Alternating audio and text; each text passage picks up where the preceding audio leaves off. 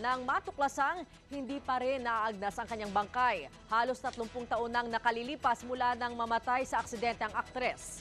Mula sa Cebu, yan ang umagang balita ni Jaworski Alipon.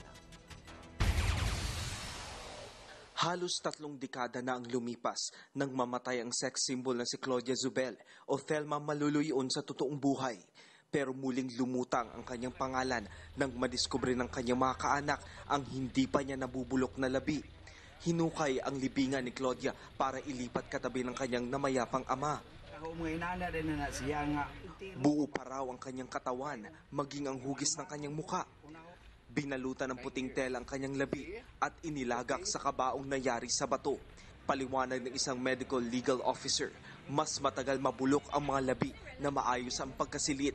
May kinalaman din daw ang uri ng pag-imbalsamo sa pagpreserba ng isang bangkay. And that is what we call mummification, mamamify ka. Instead na mo decompose ang skin tissue, mo dehydrate lang siya and then ma- ma-preserve siya. Kasagsagan ng kanyang career nang namatay si Claudia. Na-aksidente ang minamaneho niyang kotse sa EDSA sa edad na 19. Nakilala ang aktres sa mga pelikulang Shame, Magdalena, Buong Magdamag at Sinner or Saint noong dekada 80. George Calipon para sa Umagang Balita.